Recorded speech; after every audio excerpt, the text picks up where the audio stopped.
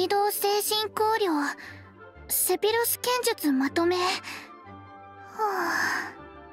あ。こんなにたくさんの書物試験までに全て見れますでしょうか？あ先輩お久しぶりです。何か私に依頼したいお仕事があるのでしょうか？え？ありがとうございます。そう言われてみれば確かに長いこと会っていませんでしたね。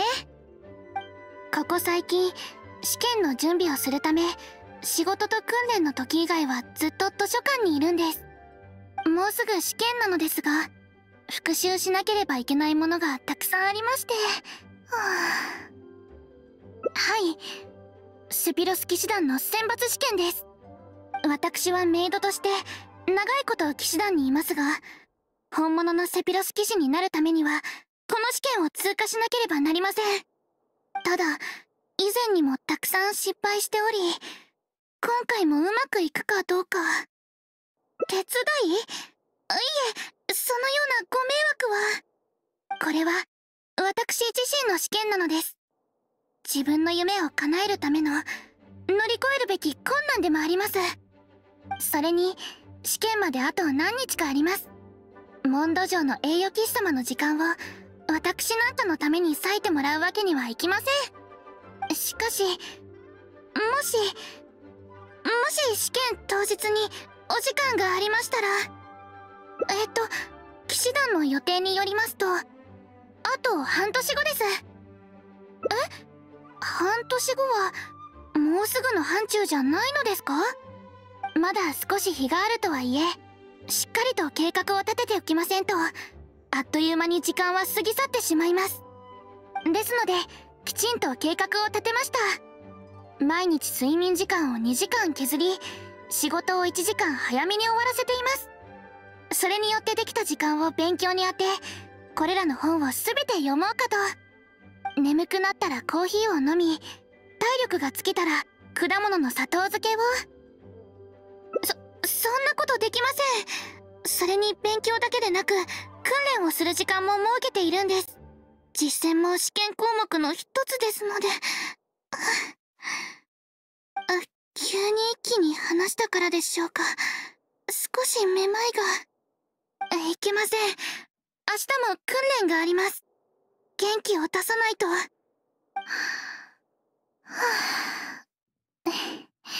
すみません。お見苦しいところをお見せしてしまいました。もう大丈夫です。はい。しかし試験のことを考えると心が落ち着かないのです。勉強と訓練をしている時だけは気持ちが楽になるのですが毎回のように準備不足なところを見つけてしまって不安感がさらに増してしまうのです。えっとそれは勉強だけにとらわれてはいけないということでしょうか。確かに試験自体の恐怖を克服できなければまた同じ過ちを犯すかもしれません。予想外の状況に陥ると思考が止まり失敗が目に浮かんできて頭が真っ白になってしまうのです。試験にたくさん参加すれば試験の雰囲気に慣れることができるのでしょうか？確かに復習すればするほど不安な点が出てきてしまうんです。試験の時も予想外の状況に遭うことがありますし試験の雰囲気に慣れておけば冷静に対応できるようになるかもしれません。ですが一体どこへ行けば試験に参加できるのでしょうか？冒険者協会？試験を通過するだけで強くなれるのですか？不思議です。栄誉騎士様のおすすめなら私もやってみます。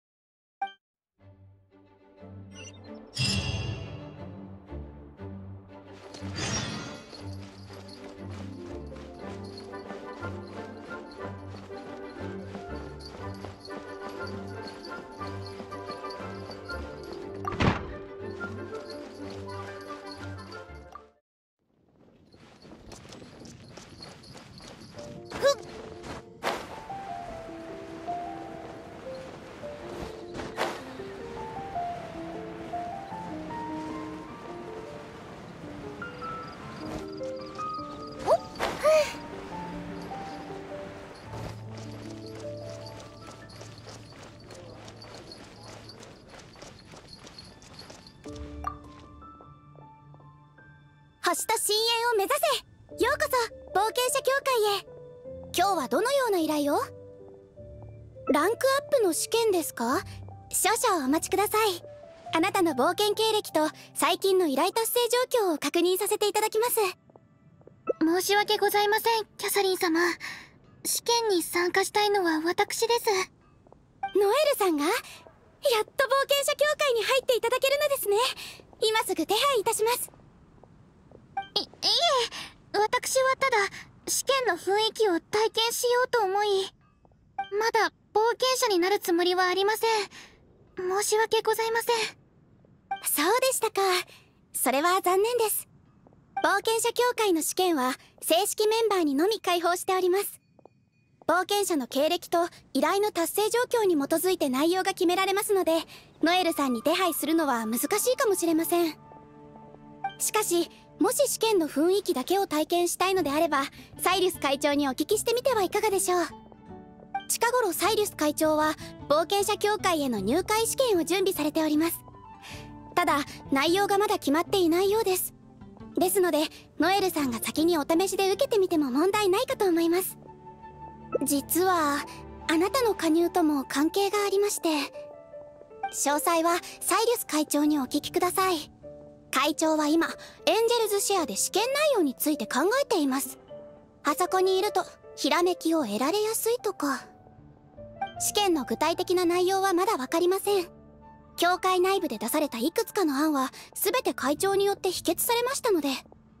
そうなると予想外の出来事に遭遇するかもしれませんね。はい。どのような内容が待ち受けているのでしょうか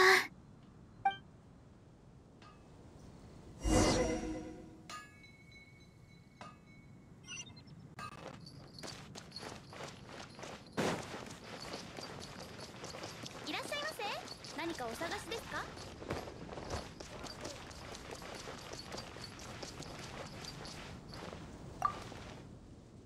遺跡守衛を3体倒す。ダメだ。難しすぎる。新人を怖がらせてしまう。イノシシを3匹狩る。これでは教会の連中が納得しないだろう。おお君か。それにノエルも。こんにちは。サイリス様今試験の内容を決めていらっしゃるのですか？ああそれについて頭を悩ませててな。旅人が風魔流の一件を解決してモンドの英雄になって以来それに感化された大勢の新人が冒険者協会に加入したんだがしかしそのほとんどが未経験でスライム一匹にも手こずる始末。だから協会は入会試験を設けることにしたんだ。それはいいことだと思いますがそうすれば怪我をされる冒険者も減るのではないでしょうか。だが試験が難しすぎたら誰も加入したくなくなるだろう。小さな傷くらい気力で何とかするべきだ。まったく教会の人間は何も分かってない。とにかくすでに2つの案がボツになった。今は俺が3つ目を作成中だ。難易度を現実的なレベルに抑えないとならん。ああ。誰か試してくれる人がいれば調整がしやすいのに。あのサイリウス様私にやらせてもらえませんか？冒険者協会の入会試験とても気になります。お？まさか冒険者になるための試験に参加するってことか。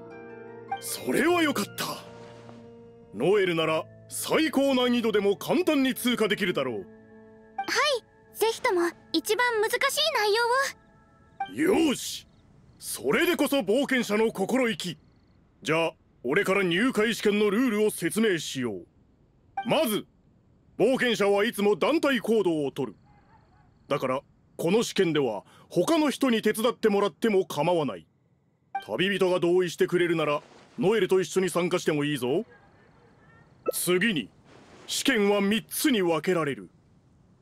冒険の基礎知識サバイバルスキルそして実戦訓練だ。この中の2つを通過できれば合格となる。もちろんノエルなら全部満点も難しくないだろう。おほん最後に冒険者の勇気と根性を忘れないように。星と深淵を目指せ。あっ星と深淵を目指せ。ははは威勢がいいな。では早速一つ目の基礎知識の試験を始めよう。冒険者たるもの豊富な冒険知識を持ってこそ様々な状況に対応できる。これから3つの質問をする。互いに話し合って答えを決めてくれ。第1問。冒険者は常に周囲の環境を把握し必要な物資を確保する必要がある。ではタンポポの種ドドリアン風車スターイグサの4つのモンド特産のうち放浪量一体で取れないものはどれだ？放浪量確か本にはググプラムがたくさんあると載っていましたが他の特産についてこれといった紹介は？いえ考え方を変えなくては。この中で生存環境が特別で放浪量になさそうなのは。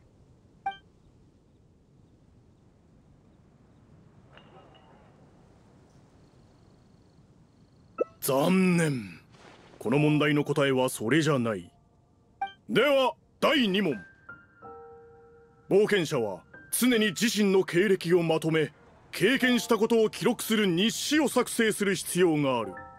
ある有名な冒険者がかつてリーユへの大地で探索をし自分が経験した数々の出来事を記録した。彼が各地に残した日誌を参考にすれば経験の浅い冒険者でも事前に危険を予知できる。ではその冒険者の名は？経歴をまとめ日誌を書く。どうやら冒険も勉強と同じで自身を振り返る必要があるのですね。その冒険者についてはいつだったか本で見たことがあります。ドラゴンスパインにも彼の功績が残っています。えっと彼の名前は？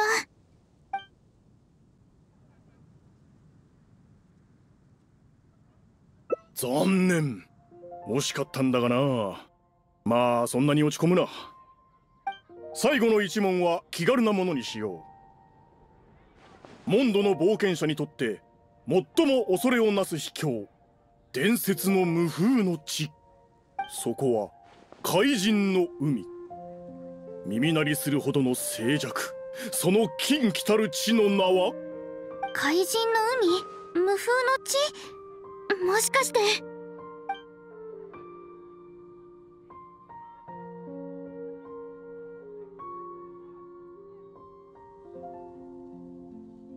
正解だこの名前をよく覚えておけよ。いつの日か君たちもこの秘境を乗り越えられる時が来る。うーんやはり問題が難しすぎたのか。ノエルですらこんなに外すとは。まあまり気にするな。こんな覚えるだけのもの冒険に何の役にも立たない。だが次のサバイバルスキル試験はこんな簡単にはいかないぞ。しっかり準備してくれ。鹿狩りで待ってる。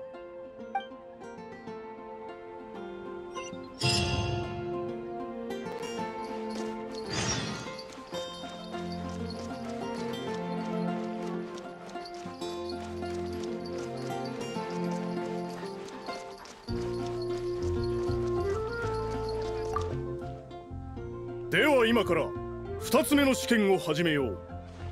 星と深淵を目指せ。題をお出しくださいサイリウス様。常に腹を満たし十分な食料を蓄えることは冒険者にとって最も習得する必要のあるサバイバルスキルだ。だから2つ目の試験は野外で緊急事態に陥った際それを乗り越えるのに必要な食料を準備することだ。合格基準は以下の3つ。1つ材料は野外から手軽に手に入れられるものとする。2つ。調理方法と材料はシンプルで利便性に富んだものとする。3つ。うん。危機に陥った人を奮い立たせることができるものとする。心を熱くする美味しい料理を作るんだ。準備ができたら持ってきてくれ。ノエルの料理楽しみだな。えっと材料が簡単で作り方も簡単。それに人を元気にできる料理ですか。先輩何か思いつきますか？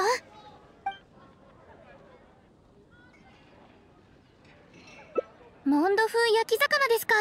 確かに魚のお肉一つと少しの胡椒だけでできますからね。では準備ができたら料理をサイリウス様にお届けしましょう。途中で何かもっといい案を思いつきましたら再度検討してみましょう。試験の時はあまり焦ってはいけません。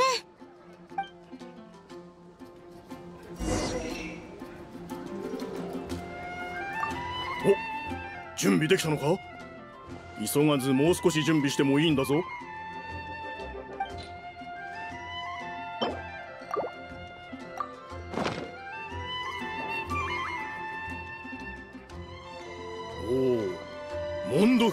魚かこの香り確かに元気になれるな。やはり正解は焼き魚でしたか？